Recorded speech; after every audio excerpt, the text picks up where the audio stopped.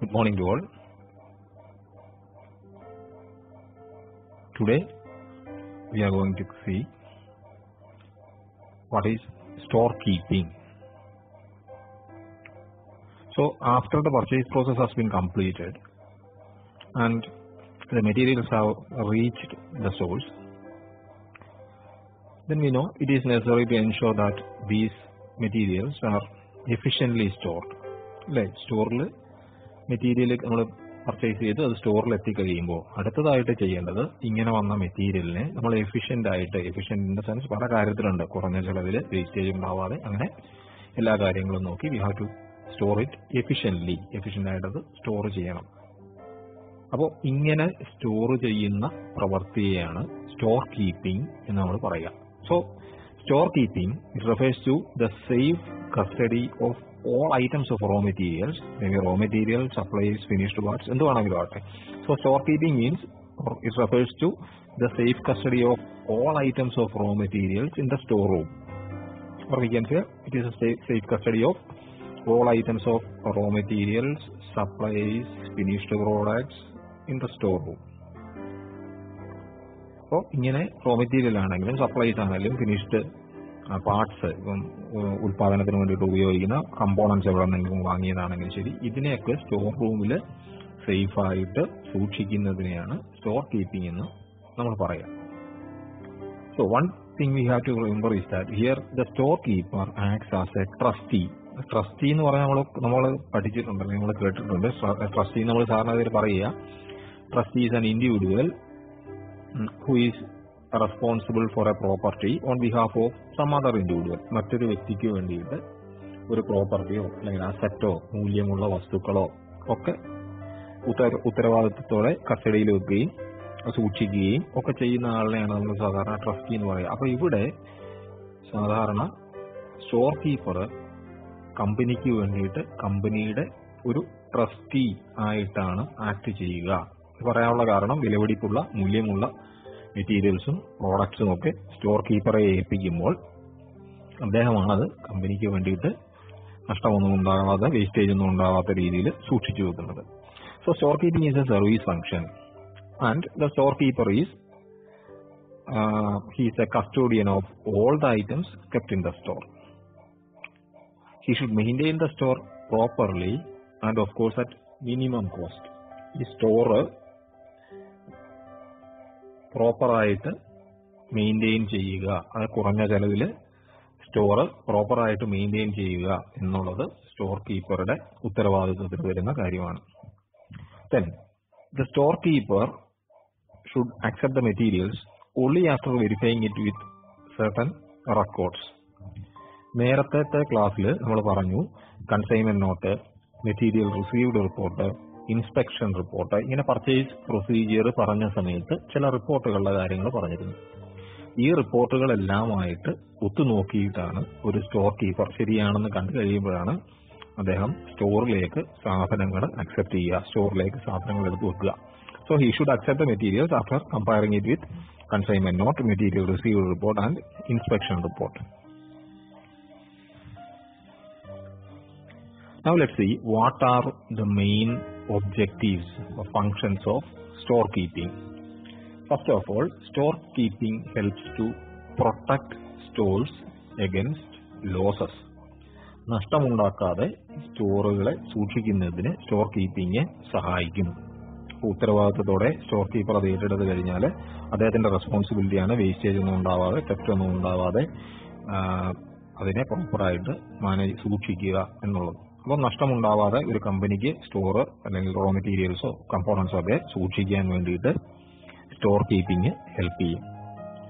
Then it helps to keep goods ready for delivery or ready for issue so material production department demand ചെയ്യുന്ന സമയത്ത് പെട്ടെന്ന് കൊടുക്കത്തക്ക രീതിയിൽ പ്രൊഡക്ഷനിലേക്ക് ഫാക്ടറിയിലേക്ക് കൊടുക്കത്തക്ക രീതിയിൽ അതിനെ റെഡിയായിട്ട് സൂക്ഷിക്കാൻ വേണ്ടി സ്റ്റോർ കീപ്പിംഗ് ഹെൽപ്പ് ചെയ്യും.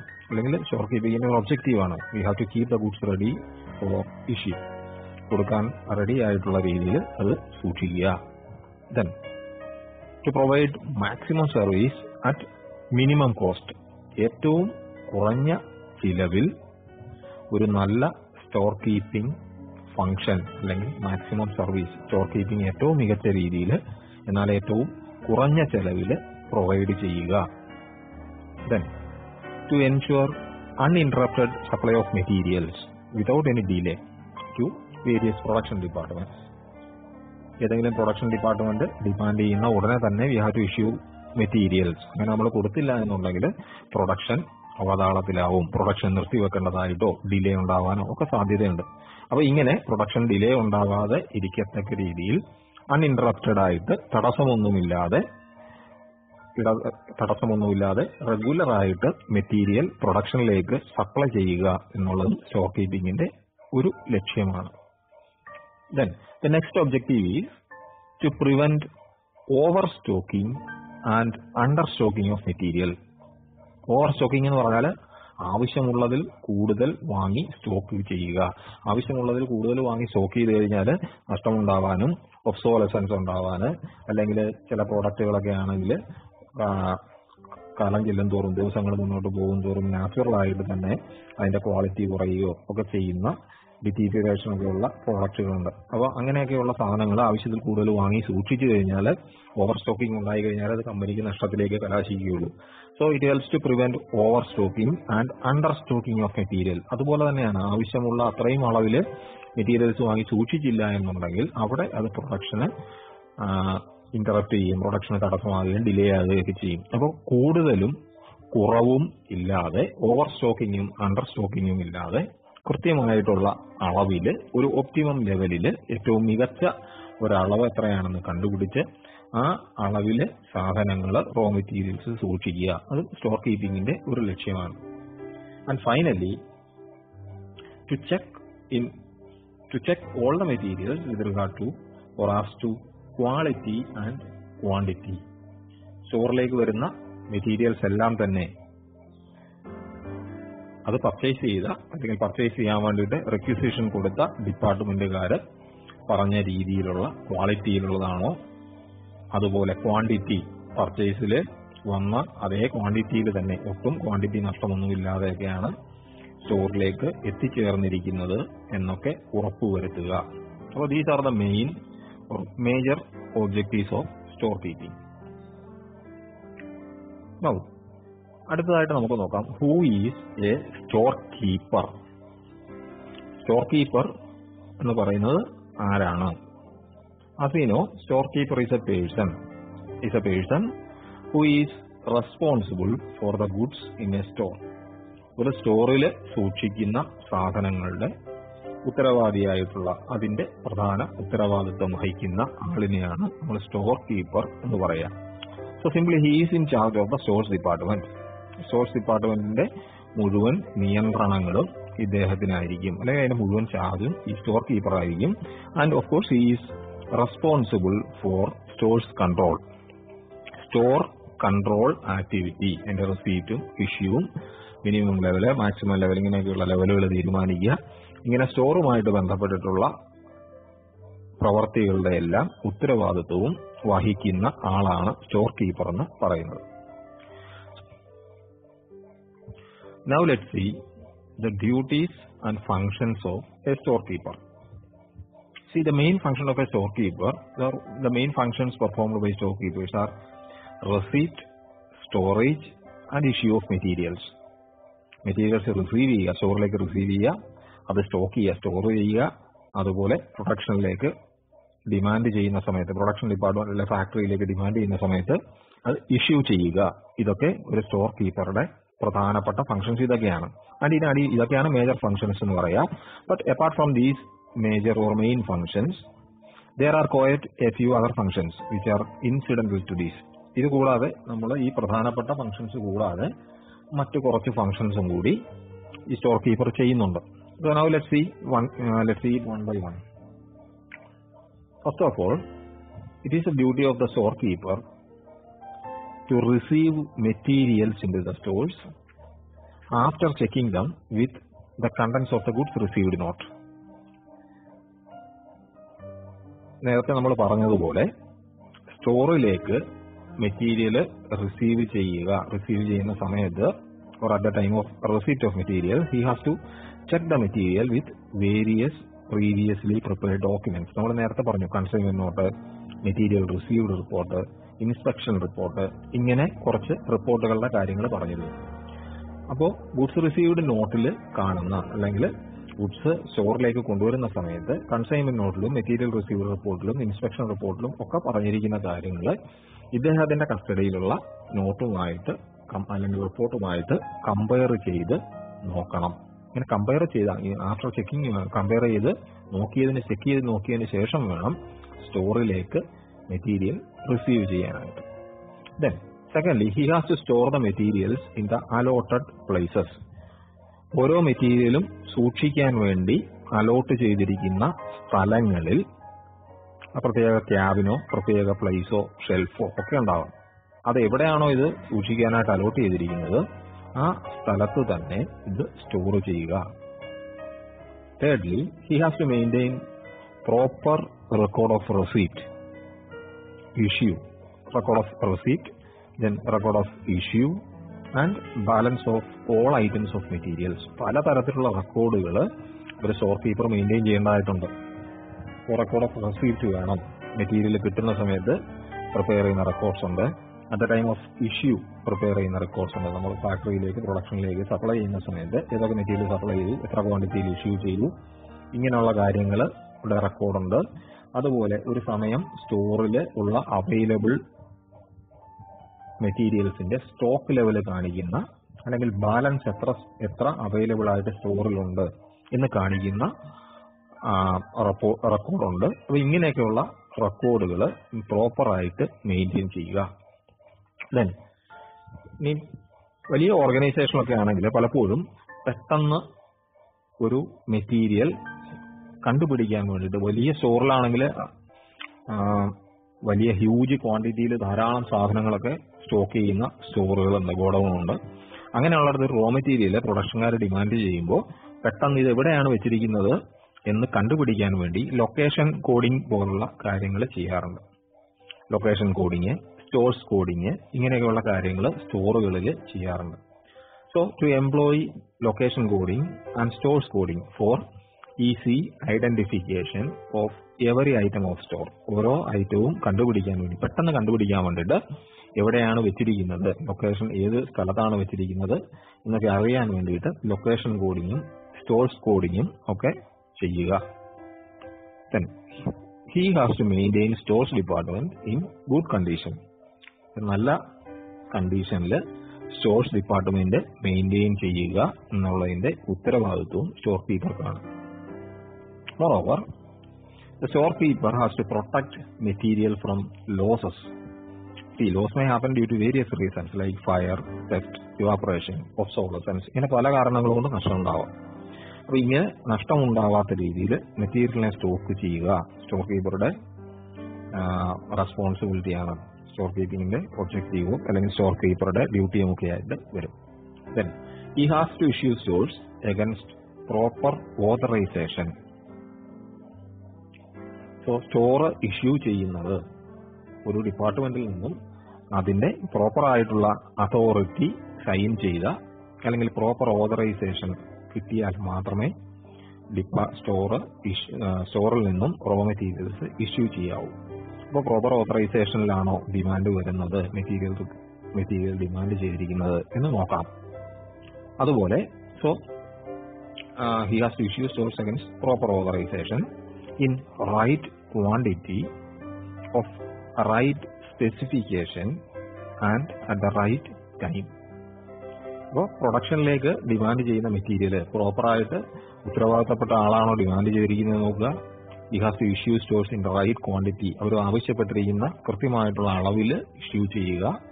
റൈറ്റ് സ്പെസിഫിക്കേഷൻ ആവശ്യപ്പെട്ടിരിക്കുന്ന എസ്പെഷ്യലി സിമിലർ ആയിട്ടുള്ള മെറ്റീരിയൽസ് ഒക്കെ ആണെങ്കിൽ ചെറിയ ഡിഫറൻസ് ഒക്കെയുള്ള മെറ്റീരിയൽസ് ആണെങ്കിൽ കൃത്യമായിട്ട് അവർ ആവശ്യപ്പെട്ടിരിക്കുന്ന സ്പെസിഫിക്കേഷൻ ഉള്ള സാധനങ്ങൾ ഇഷ്യൂ ചെയ്യുക. And at the right time ആവശ്യമുള്ള പ്രൊഡക്ഷനിലേക്ക് ആവശ്യമുള്ള സമയത്ത് തന്നെ അവിടെ എത്തുന്ന രീതിയിൽ അത് ഇഷ്യൂ ചെയ്യുക. To ensure that the stock neither exceed the maximum level nor go below the minimum level at any point of time.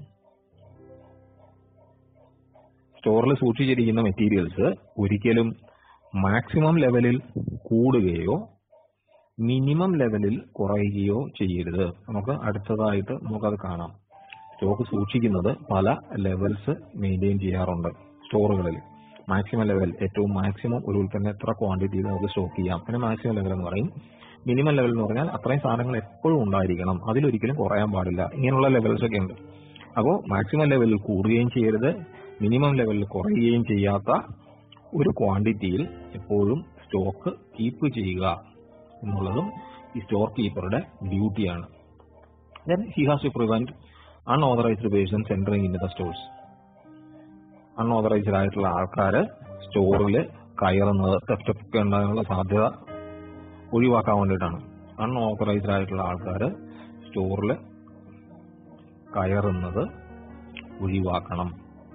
Then he has to coordinate the work of staff in the stores department ഇപ്പം stores control എന്ന് പറയുന്നതും ഇതും ഒരു management function തന്നെയാണ്. So just like ഇനി general management activity general management function നമ്മൾ പല management functions planning organising directing ഒക്കെ പഠിച്ചിട്ടുണ്ട്. അതുപോലെ കൺട്രോളിങ് കോർഡിനേഷൻ ഒക്കെ പഠിച്ചിട്ടുണ്ട്.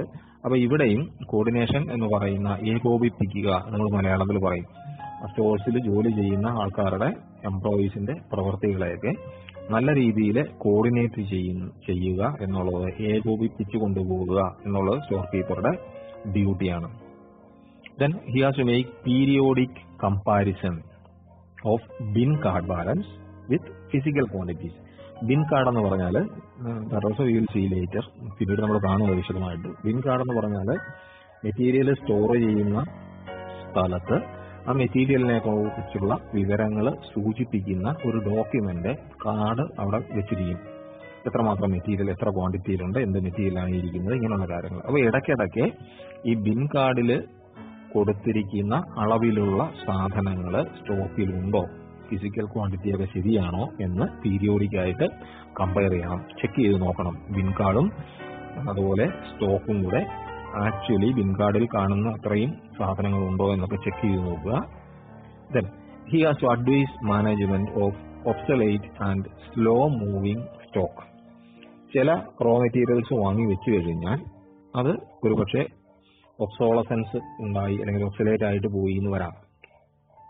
പഴയതായിട്ട് പോവുകയോ ഫാഷൻ ഔട്ട് ആവുകയോ അങ്ങനെ പല രീതിയിൽ സംഭവിക്കാം. അപ്പൊ ഇങ്ങനെ കാലഹരണപ്പെട്ട മെറ്റീരിയൽ ഉണ്ടെങ്കിൽ ആ വിവരം മാനേജ്മെന്റിനെ അറിയിക്കുക. അതുപോലെ സ്ലോ മൂവിങ് സ്റ്റോക്ക് വാങ്ങി വെച്ചിട്ട് പ്രൊഡക്ഷനിലേക്ക് ഡിമാൻഡ് ചെയ്യാത്തതോ അല്ലെങ്കിൽ അത്യപൂർവമായിട്ട് മാത്രം ഡിമാൻഡ് ചെയ്യുന്നതോ ഒക്കെ ആയിട്ടുള്ള റോ മെറ്റീരിയൽസ് ഉണ്ടെങ്കിൽ അതിന്റെ വിവരങ്ങൾ മാനേജ്മെന്റിനെ അറിയിക്കുക.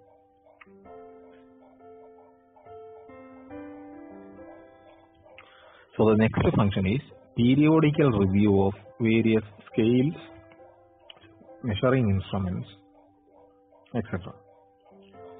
അപ്പോൾ സോറി റോ മെറ്റീരിയൽ ഇഷ്യൂ ചെയ്യുന്നതിന് മുമ്പായിട്ട് അല്ലെ റോ മെറ്റീരിയൽ സ്റ്റോഴ്സിൽ നിന്ന് ഇഷ്യൂ ചെയ്യുന്ന സമയത്ത് പലപ്പോഴും ക്വാണ്ടിറ്റി മെഷർ ചെയ്യേണ്ടതായിട്ടും അല്ലെങ്കിൽ അളവ് നോക്കേണ്ടതായിട്ടും ഒക്കെ വരാം അപ്പൊ ഇതിനൊക്കെ ഉപയോഗിക്കുന്ന ഉപകരണങ്ങൾ ഇതിന്റെ ഇൻസ്ട്രുമെന്റ്സ് ഇടയ്ക്കിടയ്ക്ക് വെരിഫൈ ചെയ്യുകയും അത് ശരിയാണെന്ന് ബോധ്യപ്പെടുകയും ഒക്കെ ചെയ്യുക. അത് അദ്ദേഹത്തിന്റെ ഡ്യൂട്ടിയാണ്. Similarly he has to protect stores from fire rust erosion dust theft weather heat cold moisture and deterioration സ്റ്റോക്കിൽ സൂക്ഷിച്ചിരിക്കുന്ന സ്റ്റോർ റൂമിൽ സൂക്ഷിച്ചിരിക്കുന്ന സാധനങ്ങൾ നമ്മളിപ്പോൾ പറഞ്ഞ രീതിയിലുള്ള നഷ്ടങ്ങളൊന്നും ഉണ്ടാവാതെ ഫയറോ തീ പിടിച്ച് നഷ്ടപ്പെടുകയോ റസ്റ്റ് ഇരുമ്പൊക്കെ ആണെങ്കിൽ തുരുമ്പ് പിടിച്ചു പോവുകയോ റസ്റ്റ് ഇറോഷൻ ഉണ്ടാവുകയോ ഡസ്റ്റ് പൊടി പിടിക്കുകയോ മോഷണം നടക്കുകയോ അല്ലെങ്കിൽ കാലാവസ്ഥയുടെ മാറ്റങ്ങൾ മൂലം നഷ്ടപ്പെട്ടു പോവുക അല്ലെങ്കിൽ വലിയ ചൂടൊക്കെ അടിച്ച് നഷ്ടപ്പെടുക വലിയ തണുപ്പിൽ പോയിട്ട് അത് ഉപയോഗശൂന്യമാകുക അല്ലെങ്കിൽ മോയിസ്ചർ ഈർപ്പം പിടിച്ച് നശിച്ചു പോവുക ഇങ്ങനെയൊക്കെയുള്ള കാര്യങ്ങൾ ഉണ്ടാവാതെ സൂക്ഷിക്കുക എന്നുള്ളതും ഒരു സ്റ്റോർ കീപ്പറുടെ ഡ്യൂട്ടിയാണ്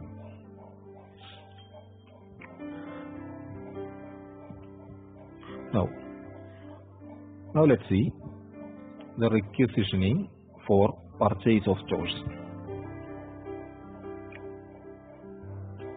So, one of the duties of the storekeeper is to send purchase materials in time so that the production is not stopped due to shortage of materials. So, store കീപ്പറുടെ ഉത്തരവാദിത്വമാണ് പർച്ചേസ്ഡ് മെറ്റീരിയൽ കൃത്യസമയത്ത് തന്നെ production നിന്നു പോകാതെ production delay ഉണ്ടാവാത്ത രീതിയിൽ മെറ്റീരിയലിന്റെ shortage കൊണ്ട് delay ഉണ്ടാവാത്ത രീതിയിൽ issue ചെയ്യുക എന്നുള്ളത് ഒരു സ്റ്റോർ കീപ്പറുടെ ഡ്യൂട്ടിയാണെന്ന് നമ്മൾ നേരത്തെ പറഞ്ഞതാണ്.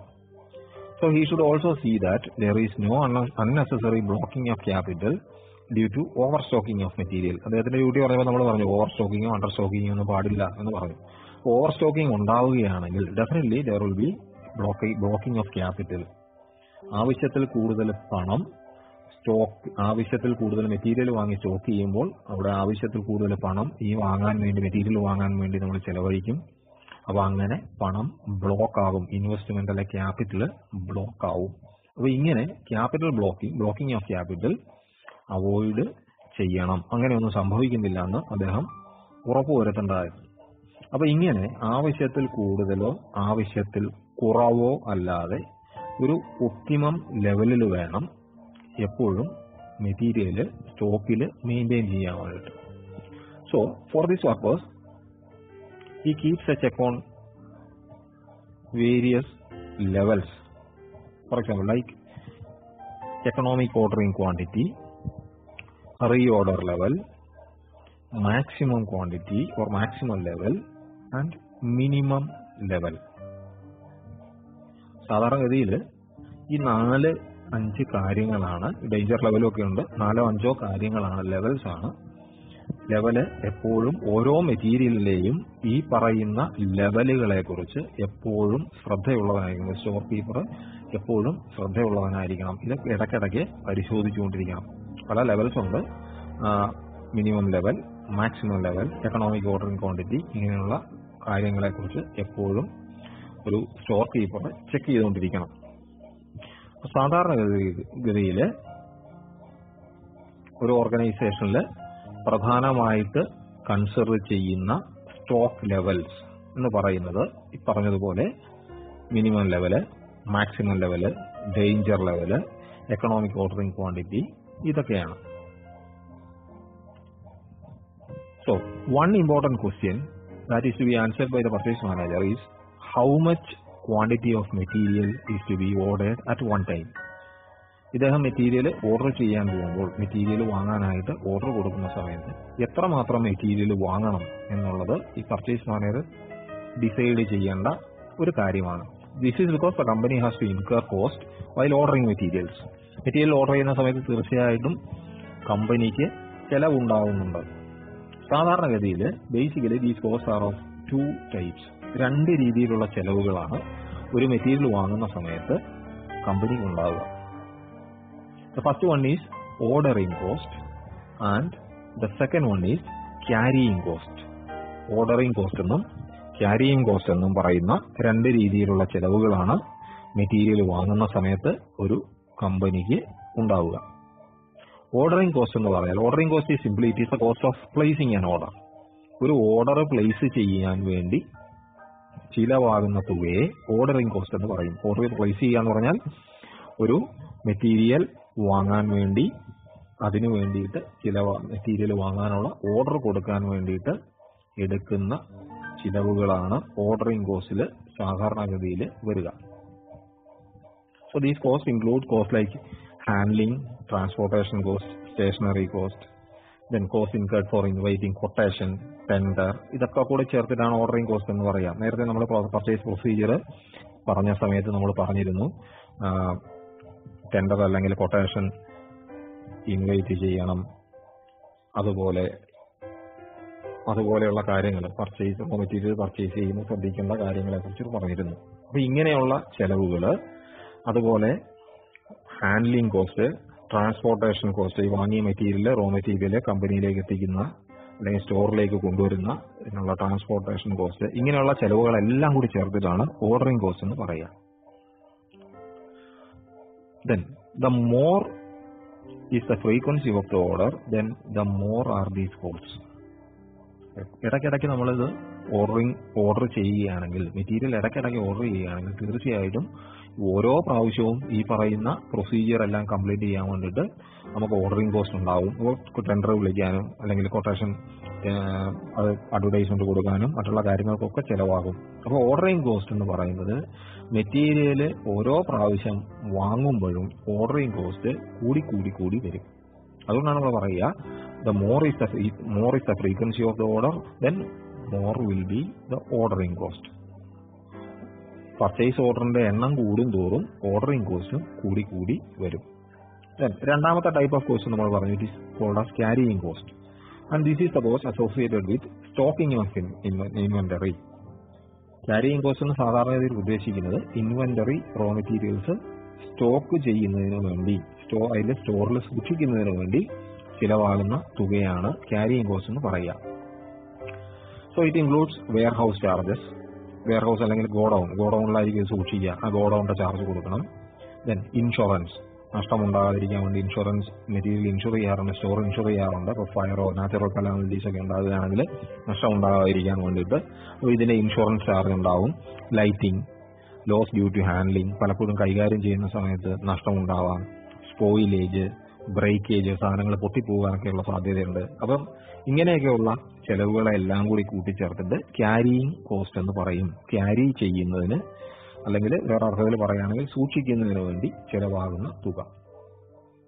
സോ ഇനി ഇത് മാത്രമല്ല another important component of carrying cost is the amount of interest lost due to the investment in the inventory അപ്പൊ ഇൻവെന്ററിയിൽ നമ്മൾ സാധനങ്ങൾ സോറി ഇൻവെന്ററിയിൽ പണം ഇൻവെസ്റ്റ് ചെയ്തിരിക്കുന്നത് കൊണ്ട് നമുക്ക് കുറച്ച് നഷ്ടമുണ്ടാവുന്നുണ്ട്. കാരണം ആ പണം വേറെ എവിടെയെങ്കിലും നമ്മൾ ഇൻവെസ്റ്റ് ചെയ്തിരുന്നെങ്കിൽ അവിടെ നിന്നും നമുക്ക് വരുമാനം ഉണ്ടായേനെ. ഇൻവെന്ററി വാങ്ങിക്കാതെ ആ പൈസ ബാങ്കിൽ ഫിക്സഡ് ഡെപ്പോസിറ്റ് ഇട്ടിരുന്നെങ്കിൽ ഇൻട്രസ്റ്റ് കിട്ടിയിട്ടിരുന്നേനെ അപ്പോ ഇങ്ങനെ ഒരു നഷ്ടവും കമ്പനിക്ക് ഇൻവെന്ററിയിൽ പൈസ മുടക്കുമ്പോൾ സംഭവിക്കുന്നുണ്ട്. അപ്പോൾ ഈ ചെലവിനെയും നമുക്ക് വേണമെങ്കിൽ ക്യാരിയിങ് കോസ്റ്റിന്റെ ഗണത്തിൽ പെടുത്താവുന്നതാണ്. So carrying cost will go on increasing if the quantity of material in inventory goes on increasing. നമ്മൾ സൂക്ഷിക്കുന്ന സ്റ്റോറിൽ സൂക്ഷിക്കുന്ന മെറ്റീരിയലിന്റെ ക്വാണ്ടിറ്റി വർദ്ധിക്കും തോറും അതിന്റെ ക്യാരിയിങ് കോസ്റ്റും കൂടിക്കൊണ്ടേയിരിക്കും. അപ്പൊ ഇവിടെ രണ്ട് കാര്യങ്ങൾ നമ്മൾ പറഞ്ഞു. ഒന്നാമത് നമ്മൾ പറഞ്ഞത് ഓർഡറിംഗ് കോസ്റ്റിന്റെ കാര്യമാണ്. ഓർഡറിംഗ് കോസ്റ്റ് പറഞ്ഞത് when the frequency of the order is high then there will be high ordering cost ഇടയ്ക്കിടയ്ക്ക് ഓർഡർ ചെയ്യുകയാണെങ്കിൽ ഓർഡറിംഗ് കോസ്റ്റ് കൂടുമെന്ന് പറഞ്ഞു. രണ്ടാമത് ഇപ്പോൾ നമ്മൾ പറഞ്ഞു സാധനങ്ങൾ എന്നാൽ കൂടുതൽ വാങ്ങിച്ചു വെക്കുകയാണെങ്കിൽ അവിടെ ക്യാരിയിങ് കോസ്റ്റും കൂടും. അപ്പോൾ ഓർഡറിംഗ് കോസ്റ്റ് കുറയ്ക്കണമെങ്കിൽ സാധനങ്ങൾ വാങ്ങുന്ന ഫ്രീക്വൻസി കുറയ്ക്കണം. അതായത് ഇടയ്ക്കിടയ്ക്ക് സാധനം വാങ്ങരുത്. ഇടയ്ക്കിടയ്ക്ക് സാധനം വാങ്ങിയാൽ ഓർഡറിംഗ് കോസ്റ്റ് കൂടും. പക്ഷേ എന്നാൽ ഒറ്റയടിക്ക് നമ്മൾ കൂടുതൽ സാധനം വാങ്ങിച്ചു വെക്കാം. ഓർഡറിംഗ് കോസ്റ്റ് കുറയ്ക്കാൻ വേണ്ടി ഒറ്റ പർച്ചേസ് തന്നെ ഹ്യൂജ് ക്വാണ്ടിറ്റിയിൽ സാധനം വാങ്ങി വെക്കാം എന്ന് പറഞ്ഞാൽ അപ്പോൾ നമ്മുടെ ക്യാരിയിങ് കോസ്റ്റ് കൂടും. അപ്പോൾ ഇവിടെ നമുക്ക് കാണാൻ പറ്റുന്ന ഒരു കാര്യം എന്ന് പറയുന്നത് both these carrying cost and ordering cost are variable cost of opposite behaviour ഒന്ന് കൂടുമ്പോൾ മറ്റൊന്ന് കുറയും. രണ്ടാമത്തേത് കൂടുമ്പോൾ ആദ്യത്തേത് കുറയും. ആ ഒരു രീതിയിൽ അപ്പൊ ആദ്യത്തേത് കൂടുമ്പോൾ രണ്ടാമത്തെ കുറയും. എന്നാൽ ആദ്യത്തെ കുറയുകയാണെങ്കിൽ രണ്ടാമത്തെ കൂടും. ഇങ്ങനെ ഒരു ഓപ്പോസിറ്റ് ബിഹേവിയർ ഉള്ള ഒന്നാണ് ഈ ഓർഡറിങ് കോസ്റ്റും ക്യാരിയിങ് കോസ്റ്റും സോ ഈ orders are more frequent then ordering cost will go on increasing. But as the material ordered will be in less quantity, the carrying cost will decrease. നമ്മൾ സാധനങ്ങൾ ഇടയ്ക്കിടയ്ക്ക് വാങ്ങുകയാണെങ്കിൽ ഓർഡറിംഗ് കോസ്റ്റ് കൂടും. പക്ഷെ ഇടയ്ക്കിടയ്ക്ക് വാങ്ങുന്നതുകൊണ്ട് കുറച്ച് സാധനങ്ങളായിരിക്കും വാങ്ങി സൂക്ഷിക്കുക. അപ്പോൾ ക്യാരിയിങ് കോസ്റ്റ് കുറവായിരിക്കും. But on the other hand if number of orders are reduced then quantity per order will increase and definitely the carrying cost will also increase ആദ്യം പറഞ്ഞതിന്റെ നേരെ എതിരാണിത്. ഇപ്പോൾ എന്നാൽ കുറച്ച് ഓർഡർ മാത്രമേ നമ്മൾ കൊടുക്കുന്നുള്ളൂ എന്ന് വിചാരിക്കുക. ഇടയ്ക്കിടയ്ക്ക് ഓർഡർ കൊടുക്കണ്ട. വളരെ കുറച്ച് ഓർഡർ മാത്രം ഒറ്റ ഓർഡറിൽ തന്നെ മൊത്തം സാധനം വാങ്ങിക്കളയാം എന്ന് വിചാരിച്ചു കഴിഞ്ഞാൽ ഓർഡറിംഗ് കോസ്റ്റ് കുറയും. പക്ഷേ ഈ ഒറ്റ ഓർഡറിൽ മൊത്തം സാധനം വാങ്ങിക്കുമ്പോൾ സ്റ്റോറിലേക്ക് വരുന്ന സാധനം ഹ്യൂജ് ക്വാണ്ടിറ്റിയിലാവും അപ്പോൾ ക്യാരിയിങ് കോസ്റ്റ് കൂടും. So the ordering cost will come down due to reduction of number of orders but the carrying cost will increase അതുകൊണ്ടാണ് നമ്മൾ പറഞ്ഞത് ഈ ക്യാരിയിങ് കോസ്റ്റും ഓർഡറിംഗ് കോസ്റ്റും ഓപ്പോസിറ്റ് ബിഹേവിയർ ഉള്ള രണ്ട് കാര്യങ്ങളാണ് എന്ന് പറഞ്ഞു. അതുകൊണ്ട് ക്യാരിയിങ് കോസ്റ്റും ഓർഡറിങ് കോസ്റ്റും ഈ രണ്ട് കോസ്റ്റുകളെയും കൂടി കൺസിഡർ ചെയ്തുകൊണ്ട് ഒരു കമ്പനി പലപ്പോഴും ഒരു സമയം എത്ര മെറ്റീരിയൽ ഓർഡർ ചെയ്യണം എന്ന് കണ്ടുപിടിക്കാറുണ്ട്. ഈ രണ്ട് കാര്യങ്ങളെ ആശ്രയിച്ചാണ് അതിരിക്കുന്നത്. ക്യാരിയിങ് കോസ്റ്റും കൂടാൻ പാടില്ല. ഓർഡറിങ് കോസ്റ്റും കൂടാൻ പാടില്ല. രണ്ടും കമ്പനിക്ക് അനുകൂലമായിട്ട് വരണം. അതിനുവേണ്ടി സ്റ്റോൾസിൽ ഉപയോഗിക്കുന്ന ഒന്നാണ് എക്കണോമിക് ഓർഡറിങ് ക്വാണ്ടിറ്റി എന്ന് പറയുന്നത്. So the most desirable quantity to be ordered is that quantity at which both ordering cost and carrying cost will be minimum നമ്മൾ നേരത്തെ പറഞ്ഞതുപോലെ ഓർഡറിംഗ് കോസ്റ്റും ക്യാരിയിങ് കോസ്റ്റും മിനിമം ആയിരിക്കുന്ന ഒരു അളവിൽ വേണം മെറ്റീരിയൽസ് വാങ്ങാൻ വേണ്ടി. So this quantity is called as economic order quantity or economic ordering quantity E O Q എന്ന് പറയും. ക്യാരിയിങ് കോസ്റ്റും ഓർഡറിംഗ് കോസ്റ്റും രണ്ടും ഏറ്റവും കുറവ് വരുന്ന ആ ഒരു ലെവലിനെയാണ് economic order quantity or economic ordering quantity എന്ന് പറയുന്നത്. The quantity of material to be ordered at one time is known as economic ordering quantity നമുക്ക് അങ്ങനെ വേണമെങ്കിലും പറയാം. ഒരു സമയം വാങ്ങേണ്ട മെറ്റീരിയലിന്റെ അളവിനെ ക്വാണ്ടിറ്റിയാണ് എക്കണോമിക് ഓർഡറിംഗ് ക്വാണ്ടിറ്റി എന്ന് പറയുന്നത്. ഏറ്റവും എക്കണോമിക് ആയിട്ട് കമ്പനിക്ക് ഈ പരിപാടി ചെയ്യണമെങ്കിൽ ഏറ്റവും കുറഞ്ഞ സാമ്പത്തിക ചെലവിൽ ചെയ്യണമെങ്കിൽ അതിന് എത്ര ക്വാണ്ടിറ്റി ഒരു സമയം ഓർഡർ ചെയ്യണം എന്നുള്ളതാണ് എക്കണോമിക് ഓർഡറിംഗ് ക്വാണ്ടിറ്റിയിൽ വരിക. So the economic ordering quantity refers to the quantity of inventory at which total of ordering cost and carrying cost is minimum ordering കോസ്റ്റും ക്യാരിയിങ് കോസ്റ്റും ഏറ്റവും മിനിമം ആയിരിക്കുന്ന ലെവലിനെ എക്കണോമിക് ഓർഡറിംഗ് ക്വാണ്ടിറ്റി എന്ന് നമുക്ക് പറയാം. ഇനി എക്കണോമിക് ഓർഡറിംഗ് ക്വാണ്ടിറ്റി കണ്ടുപിടിക്കുന്നത് ഇങ്ങനെയാണ്. Root of two A O by C എന്ന് നമ്മൾ പറയും. Here A refers to annual consumption O refers to ordering cost and C carrying cost annual consumption ordering cost and carrying cost ഈ മൂന്ന് കാര്യങ്ങൾ ഉപയോഗിച്ചിട്ടാണ് economic ordering quantity കാണുക.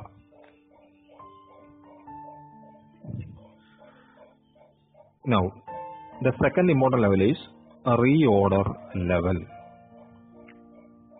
Reorder level of stock, it is also known as reorder point or ordering point. ഇങ്ങനെയൊക്കെ പറയാറുണ്ട് so reorder level of stock in a business is a preset level of stock at which the business places an order business ഒരു order കൊടുക്കുന്ന ലെവലിനെയാണ് re order level എന്ന് പറയുക അതായത് സ്റ്റോക്കിൽ സൂക്ഷിച്ചിരിക്കുന്ന മെറ്റീരിയൽ പ്രൊഡക്ഷനിലേക്ക് നമ്മൾ ഇഷ്യൂ ചെയ്തുകൊണ്ടിരിക്കും. ഇങ്ങനെ ഇഷ്യൂ ചെയ്യുമ്പോൾ നിലവിലുള്ള മെറ്റീരിയൽ ഒരു പ്രത്യേക ലെവലിൽ താന്നു കഴിയുമ്പോൾ ഒരു ലെവലിൽ എത്തിക്കഴിയുമ്പോൾ പ്രൊഡക്ഷൻ നിന്നു പോകാതിരിക്കാൻ വേണ്ടി സ്റ്റോർ കീപ്പർ ഈ മെറ്റീരിയലിന് ഓർഡർ ചെയ്യും. ഇങ്ങനെ ഓർഡർ ചെയ്യുന്ന ലെവലിനെ റീ ഓർഡർ ലെവൽ എന്ന് പറയും. So I mean a new order with it supplies to the delivery of raw materials അതാണ് റീ ഓർഡർ ലെവൽ എന്ന് പറയുക. മെറ്റീരിയൽ വാങ്ങാൻ വേണ്ടിയിട്ട് പുതിയ സപ്ലയേഴ്സിന് പുതിയ ഒരു ഓർഡർ കൊടുക്കുന്ന ആ ലെവൽ മെറ്റീരിയൽ ഏത് ലെവലിൽ എത്ര ക്വാണ്ടിറ്റി വരെ കുറഞ്ഞു കഴിയുമ്പോഴാണോ പുതിയ മെറ്റീരിയൽ ഓർഡർ ചെയ്യുന്നത്? ആ ലെവലിനെയാണ് റീ ഓർഡർ ലെവൽ എന്ന് പറയുക. So this level is definitely this level is above minimum level but my below maximum level minimum level എന്ന് പറയുന്ന ഒരു ലെവൽ ഉണ്ടാവും. അതായത് മെറ്റീരിയൽ എത്ര വരെ സ്റ്റോക്കിൽ കുറയാം. മിനിമം ക്വാണ്ടിറ്റി മെയിന്റെയിൻ ചെയ്യുന്നതാണ് മിനിമം ലെവൽ അപ്പം മിനിമം ലെവൽ എത്തുന്നതിന് മുമ്പ് തന്നെ സാധനം റീഓർഡർ ചെയ്യും. അപ്പം മിനിമം ലെവലിനേക്കാൾ കൂടുതലായിരിക്കും ഈ റീഓർഡർ ലെവൽ എന്ന് പറയുന്നത്. അറ്റ് സെയിം ടൈം മാക്സിമം ലെവലിനേക്കാൾ കുറവുമായിരിക്കും. മാക്സിമം ലെവൽ വരെ മാത്രമേ മെറ്റീരിയൽ വാങ്ങി സൂക്ഷിക്കൂ. അതിൽ കൂടുതൽ വാങ്ങി സൂക്ഷിക്കാറില്ല. അപ്പോൾ മാക്സിമം ലെവലിനേക്കാൾ കുറവും മിനിമം ലെവലിനേക്കാൾ ഒരല്പം കൂടുതലുമായിരിക്കും റീ ഓർഡർ ലെവൽ എന്ന് പറയാം usually reorder level is computed in this way നമ്മൾ ഇതിൽ കാണുന്നത് പോലെ റീഓർഡർ ലെവൽ കാണാൻ വേണ്ടിയിട്ട് minimum level plus consumption during the time require to get the fresh delivery minimum level of സ്റ്റോക്കിന്റെ കൂട്ടത്തിൽ പുതിയ മെറ്റീരിയൽ വാങ്ങാൻ എടുക്കുന്ന സമയം ഉപയോഗിക്കുന്ന മെറ്റീരിയലിന്റെ അളവും കൂടെ ആഡ് ചെയ്തു കഴിഞ്ഞാൽ റീഓർഡർ ലെവൽ കിട്ടും. So minimum level plus consumption during reorder period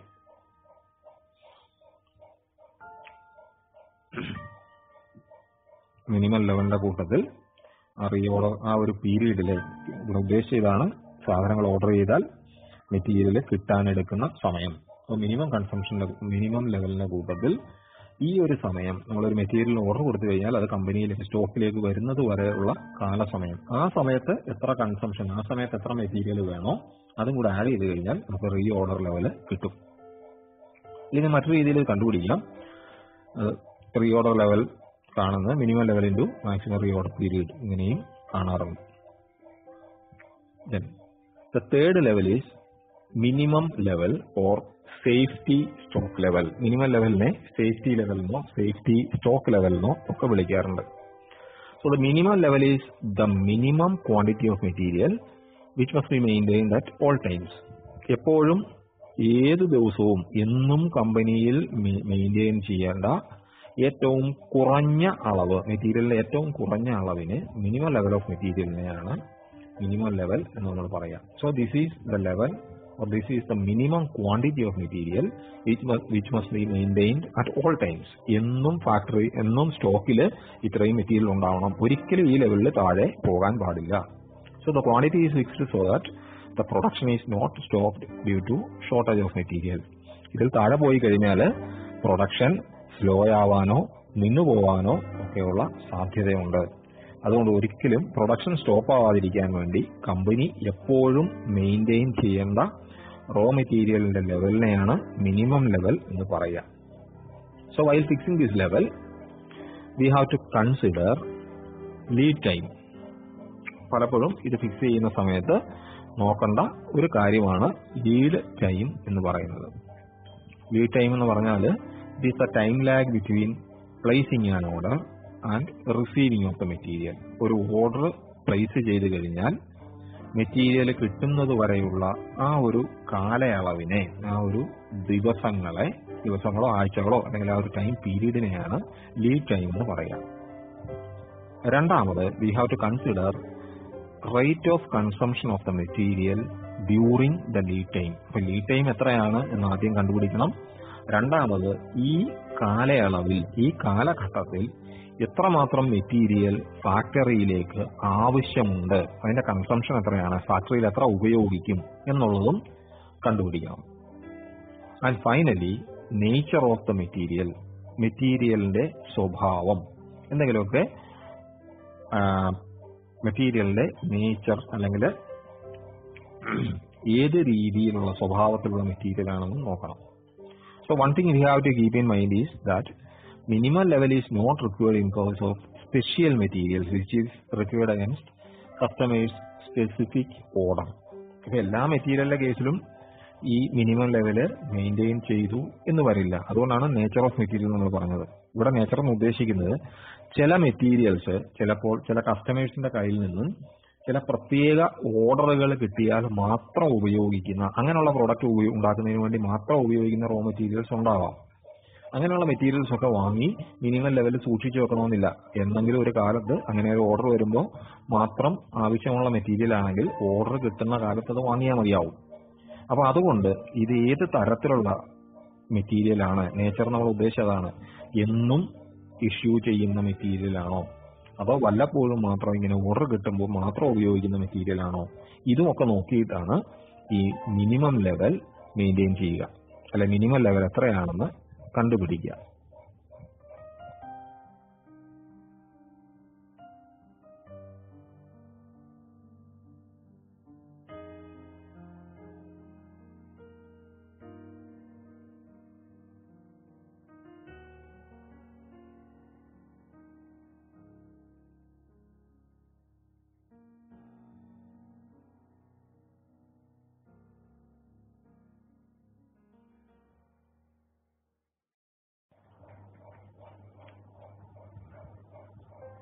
So we can compute the minimum stock level in this way.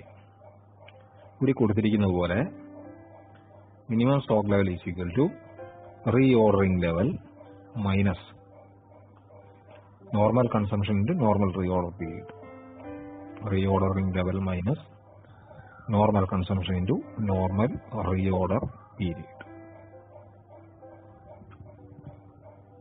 Now let's let's see what maximum level. So as the name shows, maximum level is the maximum of stock which should be held in stock at any time during the year. Or it is a maximum level of stock or it is a maximum level of material which should be held in stock at any time during the year. ഒരു വർഷം ഒരു പ്രത്യേക കാലയളവിൽ ഒരു സ്റ്റോറിൽ സൂക്ഷിക്കാവുന്ന മെറ്റീരിയലിന്റെ ഒരു particular type of മെറ്റീരിയലിന്റെ ഏറ്റവും കൂടിയ അളവിനെയാണ് മാക്സിമം ലെവൽ എന്ന് പറയുക. ഇതിൽ കൂടാൻ പാടില്ല. Because or the quantity is so fix so to avoid overstocking ഇതിൽ കൂടുതൽ സ്റ്റോക്ക് ചെയ്യാനായിട്ട് പാടില്ല. ഓവർ സ്റ്റോക്ക് ചെയ്യാൻ പാടില്ല. അവ ഒരു സ്റ്റോറിൽ സൂക്ഷിക്കാവുന്ന മെറ്റീരിയലിലെ സ്റ്റോറിൽ ഒരു സമയം സൂക്ഷിക്കാവുന്ന ഏറ്റവും ഉയർന്ന ലെവലിനെ ഏറ്റവും ഉയർന്ന ക്വാണ്ടിറ്റിയെ മാക്സിമം ലെവൽ എന്ന് പറയും. ഓവർ സ്റ്റോക്ക് ചെയ്യാൻ ചെയ്യരുത് എന്ന് പറയാൻ ചില കാരണങ്ങളുണ്ട്.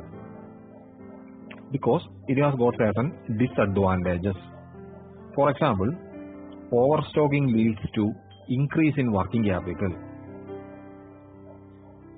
കമ്പനിയുടെ വർക്കിംഗ് ക്യാപിറ്റൽ കൂടുതലായിട്ട് ആവശ്യമായിട്ട് വരും. ഓവർ സ്റ്റോക്കിംഗ് എന്ന് പറഞ്ഞാൽ കൂടുതൽ മെറ്റീരിയൽ വാങ്ങി സൂക്ഷിക്കുകയാണ്. ഇങ്ങനെ മെറ്റീരിയൽ കൂടുതലായിട്ട് വാങ്ങി സൂക്ഷിക്കുമ്പോൾ കൂടുതൽ പണം ആവശ്യമായിട്ട് വരും. ഈ പണം ഈ എമൗണ്ട് ഇവിടെ ആവശ്യത്തിൽ കൂടുതൽ മെറ്റീരിയൽസ് വാങ്ങാൻ വേണ്ടിയിട്ട് ചെലവാക്കുന്ന ഈ പണം സപ്പോസ് നമ്മൾ വേറെ എവിടെയെങ്കിലും ഇൻവെസ്റ്റ് ചെയ്തിരുന്നെങ്കിൽ അതിൽ നിന്നും കമ്പനിക്ക് വരുമാനം ഉണ്ടാക്കാമായിരുന്നു. അപ്പോ ആ വരുമാനം വേണ്ടാന്ന് വെച്ചിട്ടാണ് ആവശ്യമില്ലാതെ മെറ്റീരിയൽ വാങ്ങി സൂക്ഷിക്കുക. ഇങ്ങനെ ഒരു നഷ്ടം സാധ്യത എന്ന് പറയുന്നത് ഈ ഓവർ സ്റ്റോക്കിംഗ് കൊണ്ട് ഉണ്ടാവാം. So it leads to increased amount of working capital secondly overstocking will need more godown space so more rent will have to be paid കൂടുതൽ മെറ്റീരിയൽ വാങ്ങി സ്റ്റോക്ക് ചെയ്താൽ അങ്ങനെ സ്റ്റോക്ക് ചെയ്യുന്നതിന് വേണ്ടിയിട്ട് കൂടുതൽ ഗോഡൗൺ സ്പേസ് വേണ്ടി വരും. സ്റ്റോർ റൂമിൽ കൂടുതൽ സ്ഥലം ഇതിനു വേണ്ടിയിട്ട് വേണ്ടി വരും. ഇങ്ങനെ കൂടുതൽ സ്റ്റോർ റൂം സ്പേസ് വേണമെങ്കിൽ അല്ലെങ്കിൽ ഗോഡൌൺ സ്പേസ് വേണമെങ്കിൽ കമ്പനിയുടെ സ്വന്തം ഗോഡൌൺ അല്ലെങ്കിൽ അതിന് കൂടുതൽ റെന്റ് കൊടുക്കേണ്ടതായിട്ടൊക്കെ വരും. അപ്പോൾ വാടക ഇനത്തിൽ ചെലവ് കൂടാം. It may also leads to obsolescence കാലഹരണപ്പെടുകയൊക്കെ ചെയ്യാം. ആവശ്യത്തിൽ കൂടുതൽ സാധനം വാങ്ങി വെച്ച് കഴിഞ്ഞാൽ ആ സാധനം സ്റ്റോക്കിൽ ഇരുന്ന് ഉപയോഗശൂന്യമായിട്ട് പോവാനുള്ള സാധ്യതയുണ്ട്. There are chances that the quality of material will deteriorate because large stock will require more time before they are consumed. കൂടുതൽ സാധനങ്ങൾ വാങ്ങി വെച്ച് കഴിഞ്ഞാൽ അഗ്രികൾച്ചർ പ്രോഡക്റ്റുകളുടെ അല്ലെങ്കിൽ അഗ്രികൾച്ചർ മെറ്റീരിയലിന്റെ കേസിൽ നമുക്കറിയാം ആവശ്യത്തിൽ കൂടുതൽ ഒരു ചില സാധനങ്ങൾ വാങ്ങി സ്റ്റോക്ക് ചെയ്ത് കഴിഞ്ഞാൽ ഇപ്പോൾ ഷുഗർ ഫാക്ടറി ഉള്ള സ്ഥലത്താണെങ്കിൽ ഒരളവിൽ കൂടുതൽ അവർ ഷുഗർ പ്രൊഡ്യൂസ് ചെയ്യാനുള്ള കരിമ്പ് വാങ്ങി സ്റ്റോക്ക് ചെയ്യില്ല. കാരണം കരിമ്പെന്ന് പറയുന്ന ആ ഒരു റോ മെറ്റീരിയൽ ഈ സ്റ്റോക്കിൽ ഇട്ട് കഴിഞ്ഞാൽ ഓരോ ദിവസം ചെല്ലും തോറും അതിൽ നിന്നും ഉൽപ്പാദിപ്പിക്കാവുന്ന ഷുഗറിന്റെ അളവ് കുറഞ്ഞു കുറഞ്ഞു വരും. ആ കരിമ്പിന്റെ ക്വാളിറ്റി കുറഞ്ഞു കുറഞ്ഞു വരും. അപ്പോൾ ഇങ്ങനെയൊക്കെയുള്ള റോ മെറ്റീരിയൽ ആണെങ്കിൽ കൂടുതൽ വാങ്ങി സ്റ്റോക്ക് ചെയ്ത് കഴിഞ്ഞാൽ അത് ഇങ്ങനെ നഷ്ടമുണ്ടാവാനുള്ള സാധ്യതയുണ്ട്. And one more thing is there, there may be fear of decrease in market price of overstocked material. Material വാങ്ങി ഓവർ സ്റ്റോക്ക് ചെയ്താൽ ആവശ്യത്തിൽ കൂടുതൽ വാങ്ങി സ്റ്റോക്ക് ചെയ്താൽ ഭാവിയിൽ മെറ്റീരിയലിന് വില കുറയുകയാണെങ്കിൽ അവിടെ ആ വില കുറയുമ്പോൾ ഒരു കുറഞ്ഞ വിലയ്ക്ക് നമുക്ക് മെറ്റീരിയൽ വാങ്ങാനുള്ള സാധ്യത ഇല്ലാതാവും വില കുറയാനുള്ള സാഹചര്യങ്ങളിലും material raw material market price കുറയാനുള്ള സാഹചര്യങ്ങളിൽ സിറ്റുവേഷനിൽ ഓവർ സ്റ്റോക്കിങ് ഒഴിവാക്കേണ്ടതാണ്. അപ്പൊ ഇങ്ങനെയൊക്കെയുള്ള ഡിസഡ്വാന്റേജസ് മൂലമാണ് ഓവർ സ്റ്റോക്ക് ചെയ്യരുത് എന്ന് പറയുന്നത്. അതുകൊണ്ട് തന്നെയാണ് സ്റ്റോറിൽ എപ്പോഴും maximum stock level maximum level fix ചെയ്യുന്നത്. ഇനി മാക്സിമം ലെവൽ കാണുന്നത് ഇങ്ങനെയാണ്. നമ്മുടെ സ്ലൈഡിൽ കൊടുത്തിട്ടുണ്ട്. Maximum level is equal to reorder level plus reordering quantity minus minimum consumption ഇത് മിനിമം റീഓർഡറിംഗ് പീരീഡ് ഈ ഒരു രൂപത്തിൽ നമുക്ക് മാക്സിമം സ്റ്റോക്ക് ലെവൽ കാണാം. Then next is danger level ആ പേരിൽ സൂചിപ്പിക്കുന്നത് പോലെ it shows the level of danger അപകടം സൂചകമായിട്ടുള്ള ഒരു നിലയാണ് ഡേഞ്ചർ ലെവൽ എന്ന് പറയുന്നത്. സോ നേരത്തെ നമ്മൾ മിനിമം ലെവലിനെ കുറിച്ച് പറയുന്നു. എപ്പോഴും ഒരു ഫാക്ടറിയിൽ ഒരു റോ മെറ്റീരിയൽ സൂക്ഷിക്കേണ്ട ലെവലിനെയാണ് മിനിമം ലെവൽ എന്ന് പറയുക. ആ ലെവലിൽ ഒരിക്കലും കുറയാൻ പാടില്ല എന്ന് പറഞ്ഞു. ഇനി ഇൻ കേസ് എന്തെങ്കിലും കാരണവശാൽ മിനിമം ലെവലിനേക്കാൾ കുറഞ്ഞു കഴിഞ്ഞാൽ if stock comes down below the minimum level then it is called as danger level minimum ലെവലിനേക്കാൾ stock കുറഞ്ഞാൽ ആ അവസ്ഥയാണ് ഡേഞ്ചർ ലെവൽ എന്ന് പറയുക. മിനിമം ലെവലിലും താഴെയുള്ള ഒരു ലെവലാണ് എന്താ the stock reaches danger level it is necessary to take urgent action for immediate purchase of stock പെട്ടെന്ന് തന്നെ സാധനങ്ങൾ വാങ്ങാനുള്ള നടപടികൾ സ്റ്റോർ കീപ്പർ ചെയ്യണം. So that we can avoid or prevent stock out situation stock ഇല്ലാത്ത ഒരു സിറ്റുവേഷൻ ഒഴിവാക്കാൻ വേണ്ടി പ്രൊഡക്ഷൻ മെറ്റീരിയൽ ഇല്ലാത്തതുകൊണ്ട് നിന്നു പോകുന്ന ഒരു സിറ്റുവേഷൻ ഒഴിവാക്കി ഒഴിവാക്കാൻ വേണ്ടി വളരെ പെട്ടെന്ന് സാധനങ്ങൾ വാങ്ങാൻ ഉള്ള ആ ഒരു ലെവലിനെ സാധനങ്ങൾ വാങ്ങാനുള്ള തീരുമാനം എടുക്കാൻ എടുക്കേണ്ടി വരുന്ന ലെവലിനെ മിനിമം ലെവലിനേക്കാളും കുറഞ്ഞ ആ ഒരു ലെവലിനെയാണ് ഡേഞ്ചർ ലെവൽ എന്ന് പറയാം. The purchase officer usually will make special arrangements to get the materials at danger levels so that production may not stop due to shortage of material ഇപ്പൊ ഡേഞ്ചർ ലെവലിലൊക്കെ മെറ്റീരിയൽ കുറഞ്ഞു കഴിഞ്ഞാൽ ആ ലെവലിൽ എത്തിക്കഴിഞ്ഞാൽ സാധാരണ ഉള്ള ഒരു നോർമൽ പ്രൊസീജിയറിൽ നിന്നും ഒരു പക്ഷേ മാറി വളരെ പെട്ടെന്ന് തന്നെ മെറ്റീരിയൽ സ്റ്റോക്കിൽ എത്തിക്കാൻ വേണ്ടിയിട്ടുള്ള സ്പെഷ്യൽ അറേഞ്ച്മെന്റ്സ് ഒക്കെ പർച്ചേസ് മാനേജറോ അല്ലെ പർച്ചേസ് ഓഫീസർ ചെയ്യാറുണ്ട്. സോ ഡേഞ്ചർ ലെവൽ കാണുന്നത് സ്ലൈഡിൽ നോക്കുക. എന്റെ ഇക്വേഷൻ നമ്മൾ എഴുതിയിട്ടുണ്ട്. Danger level is equal to average consumption into maximum reorder period for emergency purchase ഈ രൂപത്തിൽ നമുക്ക് ഡേഞ്ചർ ലെവൽ കണ്ടുപിടിക്കാം. Then one more level is there which is called as average stock level average stock level is the average quantity of stock for a given time of period ഒരു നിശ്ചിത കാലയളവിലേക്ക് ഒരു മാസമോ ഒരാഴ്ചയോ ഒരു വർഷമോ ഒക്കെ ആവാം ഒരു നിശ്ചിത കാലയളവിലേക്ക് സ്റ്റോർ വേണ്ടി വരുന്ന സ്റ്റോക്കിന്റെ ആവറേജിനെയാണ് ആവറേജ് സ്റ്റോക്ക് ലെവൽ എന്ന് പറയാം ഈ ആവറേജ് സ്റ്റോക്ക് ലെവൽ നമ്മൾ കണ്ടുപിടിക്കുന്നത് minimum level minimum stock level plus half of reorder quantity ആ രൂപത്തിൽ വേണമെങ്കിൽ കാണാം. അല്ലെങ്കിൽ minimum stock level plus maximum stock level by two that is half of minimum stock level plus maximum level minimum level plus maximum level by two എന്നുള്ള രൂപത്തിൽ വേണമെങ്കിലും average stock level കണ്ടുപിടിക്കാം.